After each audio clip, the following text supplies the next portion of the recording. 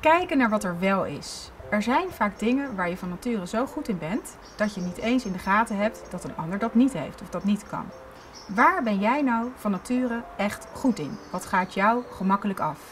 En als je het moeilijk vindt om dat bij jezelf te ontdekken, vraag het dan eens aan een ander.